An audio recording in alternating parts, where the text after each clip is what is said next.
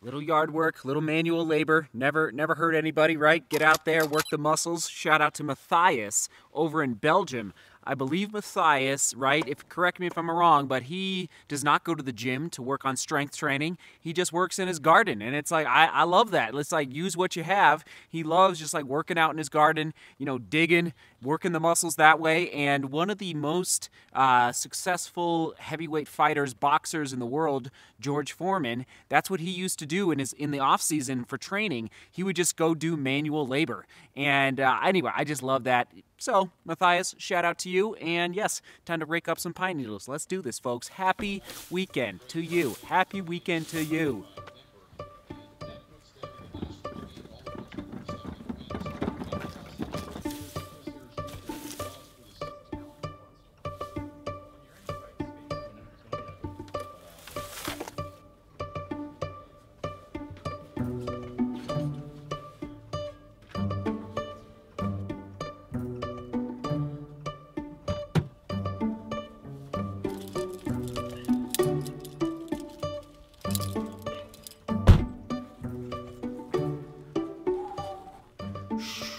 All right, just getting loaded up for the run. Uh, the pine needles are, are raked up. We got a little manual labor in, feeling good about getting the yard cleaned up, and I'm feeling good about our Nike Vomero 14 situation, ladies and gentlemen.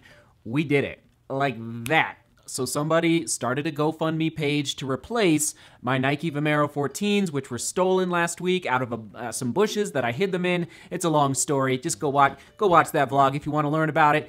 And I published the video last night about those shoes being stolen, about the GoFundMe page, and basically by the time I woke up this morning at 7 a.m., we were funded. We had done it, and so thank you to everyone that gave and everyone that's just here. Like it's just it blew it blew me away that by the time I had woken up this morning, we had already surpassed the $150 goal. And so yes, of course, I will be acquiring new Nike Vomero 14s uh, probably tomorrow or Tuesday. I just got to go find a pair somewhere. So Thank you. We're gonna do it. So finally, I'll be able to get you guys a good full review of the Vomero 14s because we got we got new. it's just it's just blowing me away, blowing me away. All right, I could talk about that all day. I'll maybe come back to it here in a little bit. But on my run today, I got my backpack, my Raidlight backpack, and I'm going now. I would not advise this, but I'm gonna today. I'm gonna run in two different shoes. I'm doing this again for you. Like, don't go out and run in two different shoes on your runs. Like, you just don't need to do that. But I am running 10 miles today, and I want to distribute my muscle memory um, availability to two different shoes so I can give you continue to give you my thoughts First of all, I have not given my full thoughts on the Hoka Clifton 5s, which I'm going to run the second half of today's run in, and I have not even given you my first impressions of the Skechers Ultra Go. So I'm going to start in the Skechers Ultra Go 5 miles and then switch over to the Hoka Clifton 5s. And again, I'm doing this to, for you so I can hopefully, hopefully bring you a little bit of value and good information about what the shoes feel like underfoot how they're react, how my body is reacting to the different types of shoes. That's what I'm doing for you. So let's let's lace up. Oh, Nike Vomero 14s. Now that is a good running shoe experience right there. Mm.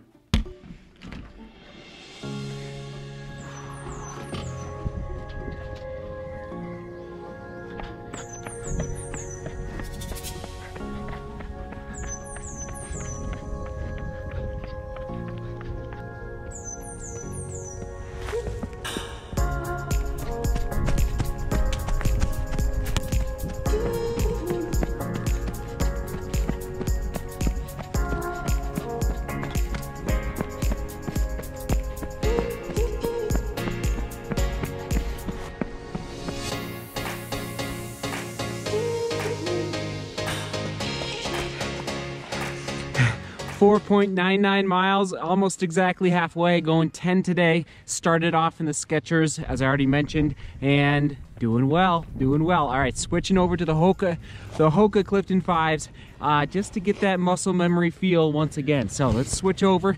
The sun is uh, going away rapidly, so let's get this baby done. Let's get it done. Come on.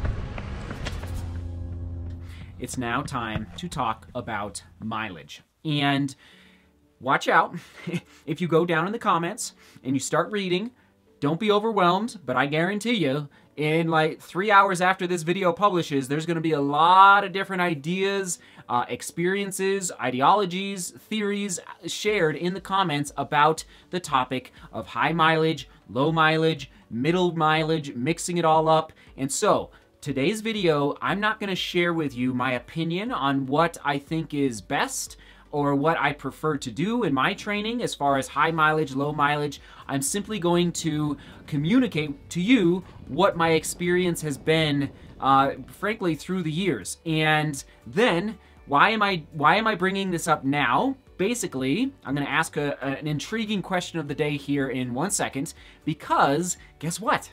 2019 is right around the corner, which means for me, I am, yes, beginning to prepare a macro level training schedule for myself in 2019 as I prepare to run my first ever road marathon. I've never raced a marathon.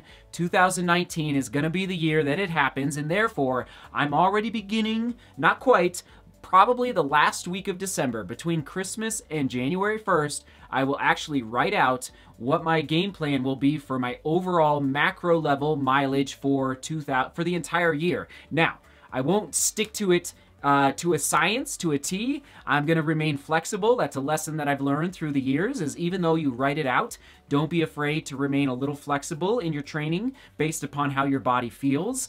So, that brings us to the question of the day. And this is not a time to boast, to brag. This is simply a time to get all of us thinking about where we've been, where we are, and where we are going. So, where have we been? The question of the day.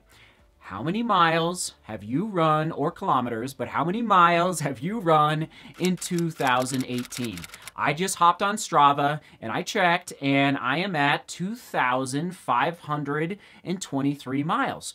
Pretty good, pretty good. We'll take it. So that that's part one for qu the question of the day. Part two, what questions do you have for me about mileage or what is your opinion on mileage? High or low, middle of the road, mix it up. I'm, I'm just fascinated to hear what all of your ideas are, your ideologies, your philosophies are behind training volume, running volume on a, you know, on a on an annual basis, on a monthly basis, um, even on a weekly basis. So comment below, I'd appreciate it. Now I'm gonna try and relay my experience at different levels of mileage to you without giving too much of my opinion, but it's naturally going to come out just a little bit. But I, again, I'm going to save that for another video for another day. Okay, high school. 25 to 35 miles a week was about was the window that I that I lived in for my mileage, my weekly mileage, 25 to 35 miles a week.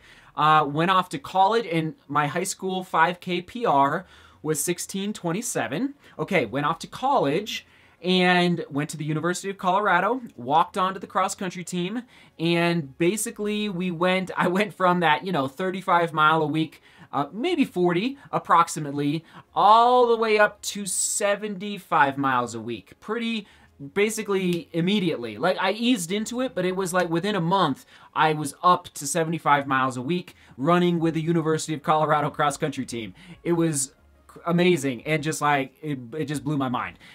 When I did that, uh, okay, fast forward, my sophomore year, I was able to shave off about a minute and a half, almost two minutes from my 5K PR. It was pretty amazing, pretty amazing. And that's, you know, I bumped my mileage up from that 40 mile a week to 75 to 80 miles a week at CU. Uh, that's the college that I went to, and was able to, able to shave off about two minutes from my 5K PR.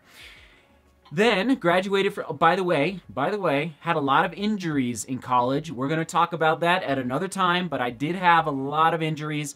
Whoo, baby. Okay, graduated and then took time off, was like five to six years of, you know, running like twice a week. Uh, you know, I, there was a there was a time where I think I took like four or five months off completely. I just was like, I just needed a mental break. And then picked up running, picked up ultra running. So from about 2016 to the present, I've evolved a little bit into ultra running, which is long, long distance running. A, a lot of it happening at high altitude, up in the mountains, big mountain runs. So, as far as the present in 2018, what was my longest training run? I believe I hit 42 miles for my longest training run. A little insane. And again, I am my own coach and I'm testing the waters. I'm trying to figure out different types of training and what works and what doesn't work. And it's fun. Like at the end of the day, I'm having fun with experimenting with different types of training and I love it. And so I'm not afraid to push myself. And so earlier in 2018, I was preparing for a 50 mile race. My long, it would it, at that time was my longest race attempt ever, and so that's why I was I was trying to push my long runs higher and way you know to 42 miles for a training run like that. You know, it's a little little crazy, a little crazy. Anyway, that is, and this year in 2018, I topped off. I think my biggest uh, week was about 100 miles in one week, and then 90 miles, 95 miles. Currently, I'm hovering right about 35 to 45 miles a week, sometimes 50. It's basically all, all I have time for. Anyway, that's been my brief summary of my mileage, and I'm not going to give you my thoughts right now on what I think is better or best, but I am fascinated. I cannot wait to get on the keyboard and start re replying to your comments on this topic. And again, we will follow up on it in late December, as I believe many of you probably will begin to kind of plot out your 2019 racing schedule and therefore your 2019 training schedule uh, in late December. That's when I plan to do mine. And I just want to begin to plant the seeds right now for figuring out, okay, what does that macro level mileage look like? I'm to wrap it up there. It was a fun day in the Clifton Fives and the Skechers, and I will be doing some thoughts on these very soon. By the way, something arrived in the mail today. Something arrived in the mail. Stay tuned for that tomorrow. I love you. Thanks for being here and thanks for commenting. And again, thank you for everyone who helped me get those Vomero 14s. They're coming. Uh, it's amazing. Amazing. It was like snap of the finger and I can reacquire some Nike Vomero 14s. Thank you. Seek beauty, work hard, and love each other. See you tomorrow. Mm, love each other. You guys know how to love others.